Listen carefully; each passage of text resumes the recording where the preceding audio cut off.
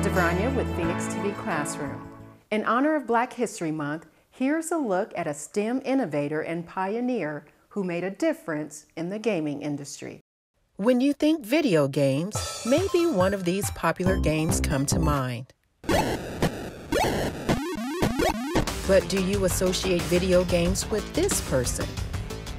Video games have certainly evolved over the years, and this was made possible by engineer Jerry Lawson, who changed the game. Gerald Lawson was born on December 1, 1940, in New York City. As a child, he was inspired by the work of George Washington Carver, and he would pursue interests in science and technology. At the age of 13, Lawson earned an amateur radio license and built a radio station in his room.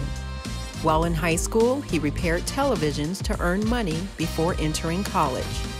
In 1970, Lawson was employed by the computer company Fairchild Semiconductor in San Francisco, where he ultimately became chief hardware engineer and director of engineering and marketing for Fairchild's video game division.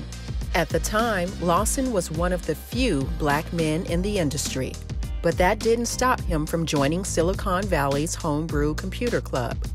The club included industry legends like Apple founders Steve Jobs and Steve Wozniak. It was in 1976 when Lawson changed the game. Lawson was credited with developing the Fairchild Channel F console with interchangeable game cartridges. Channel F wasn't much of a commercial success, but the game cartridge was. At the time, most game systems had the game built into the hardware, so the cartridge was innovative. It improved technology and was a total game changer.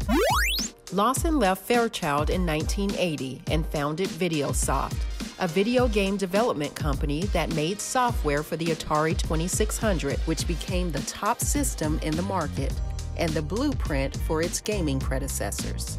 Jerry Lawson was among a handful of black engineering pioneers in the world of electronics and gaming. In 2011, the International Game Developers Association honored Lawson as an industry pioneer. We salute Jerry Lawson for changing the game.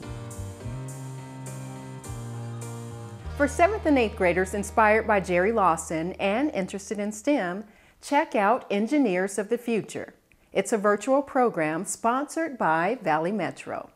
It's an exciting way for students to learn about STEM and how engineers invent and innovate through design and technology. For more information on this program, visit the website engineersofthefuture.com and stay tuned to Phoenix TV Classroom for a special report on this wonderful program and opportunity for students. Remember, you can see all of our features and latest reports at phoenix.gov slash newsroom slash classroom.